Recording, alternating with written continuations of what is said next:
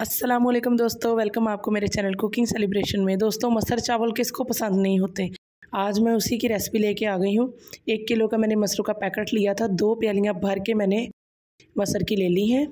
हमारे घर में मसर बड़े शौक से खाए जाते हैं, इसलिए मैंने इसको ज़्यादा पकाने का सोचा। अच्छे से धोकर उसको आधे घंटे के लिए भिगो लेंगे। वैसे तो इनको भिगोने की ज़रूरत नहीं होती है ईज़िली गल जाते हैं, लेकिन मैं इसे इसलिए भिगोऊँगी कि ये कम टाइम लेंगे फिर गलने में। साथ ही हम मसाले की तैयारी करेंगे। इनको बॉयल करते वक्त जिन चीज़ों को मैं ऐड करूँगी, वो गौर से देख लें आप। मैंने पाँच से सात जो हैं वो दरमियाने साइज़ के प्याज लिए हैं, एक बड़े साइज़ का टमाटर लिया है, दो सब्ज़ मिर्चें और काफ़ी सारा लहसन। लहसन मुझे बहुत पसंद है मेरे घर वालों को भी। तो आपका जितना दिल करे आप ऐड कर सकते हैं। ये चीज़ें सारी लेकर अच्छे से धोकर हम इन तमाम सब्जियों को रेडी कर लेंगे। बड़े बड़े स्लाइस में हम इन तमाम जो वेजेस हमने ली हैं, इनको काट लेंगे। अब हम मसर को बॉयल करने की तैयारी करेंगे। मैं हंडिया में ही मसर गलाती हूँ क्योंकि ये इजीली पौने या एक घंटे में अच्छे से इजीली गल जाते हैं। मुझे समझ नहीं आती, मैंने बहुत सारी वीडियोज़ में देखा था कि कुकर में बना रहे होते हैं।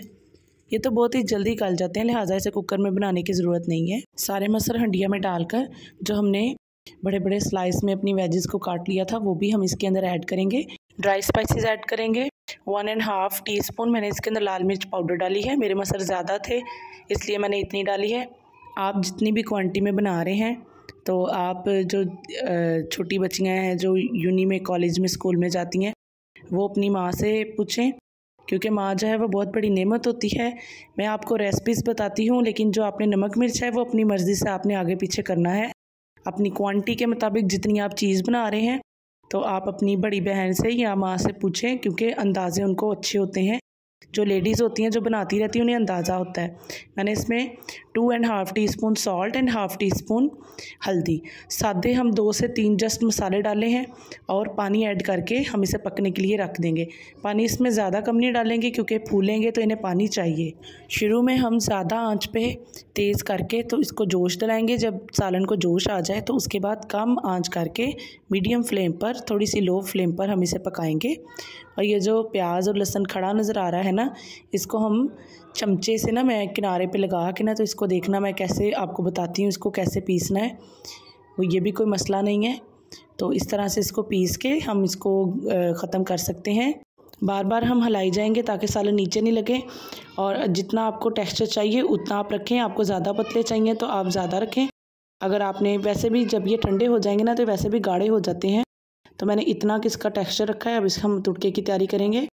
तुड़के के लिए मैंने half, one four teaspoon अजवाइन लेकर और वन टेबल स्पून ज़ीरा और सूखा धनिया का पाउडर और सब्ज़ धनिया लेंगे ढेर सारा। ब्रीक ब्रीक कटा हुआ प्याज और लहसुन और एक टमाटर लेंगे। ये सारी चीज़ें लेंगे हम तुड़के के लिए। बहुत ही ज़बरदस्त इसका हम तुड़का लगाएँगे। इस तरह का तुड़का आपने पहले कम ही देखा होगा। जिन दालों को तुड़का लगता है ना तो वो तुड़का ही जो है वो सालन की जान होती है तो हम बड़ा ही कमाल का तुड़का लगाएँगे। तुड़का लगाने के लिए मैंने ऑयल का इस्तेमाल नहीं किया, देसी घी का इस्तेमाल किया है। उसका जो कम्बिनेशन है ना, वो इसमें बड़ा कमाल का आता है टेस्ट जो है। तो आपके पास भी अगर घी है या देसी घी है, फिर तो बहुत ही अच्छी बात है। आप भी उसी का इस्तेमाल करें। तुड़के के लिए सारी चीज़ें पहले ही रेडी कर लेंगे और फ्लेम जो है वो बिल्कुल लो रखेंगे। हाई फ्लेम नहीं होने देंगे, ना मीडियम होने देंगे। लहसुन को और प्याज को देसी घी के अंदर ऐड करेंगे और लो फ्लेम पर इसको ब्राउन होने के लिए छोड़ देंगे और थोड़ी थोड़ी देर बाद हलाते जाएँगे। प्यारा सा हमारा इतना खूबसूरत गोल्डन कलर हो चुका है, जैसे पकोड़ों का होता है।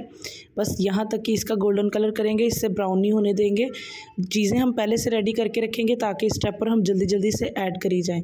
टमाटर यहाँ पे हम ऐड करेंगे, सूखा धनिया, ज़ीरा और अजवाइन ऐड करेंगे। उसको भी हल्का सा मिक्स करके साथ ही हम धनिया डाल देंगे।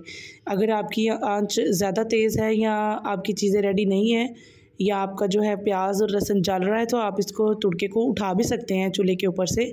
लेकिन इसको जलाइएगा मत। बस इस तरह से इसके जल, अंदर जल्दी जल्दी से सारी चीज़ें डाल देंगे हम। धनिए को हम तुड़के के अंदर ज़्यादा नहीं पकाएँगे फिर वो शलिंग हो जाएगा। जैसे ही हमने धनिया डाला हल्का सा मिक्स किया और फ़ौरन से हम अपने मसरों के ऊपर डाल देंगे। अच्छे से तुड़के को डाल के डाल के अंदर मिक्स करके इसको हम दस मिनट के लिए ढककर पकाएँगे। साथ ही मैं चावल भी बॉयल कर रही थी। बच्चों की फरमाइश होती है कि हमने ममा दाल चावल खाने मसरों के साथ हमारे घर में चावल लाजमी बनते हैं। तो अगर आपके जो नमक मिर्च जो है वो आपका कम है ना तो आप तुड़के में ऐड करके तो अंदर डाल सकते हैं। ये चेक करें, दस से पंद्रह मिनट हो चुके हैं तुड़का बीच में ऐड किए। ये मैंने टेक्सचर रखा है, जैसे ये पंद्रह से बीस मिनट और पड़े रहेंगे ना तो ये और गाढ़े हो जाएँगे। चावलों को हमने अपनी प्लेट में सजा लिया है।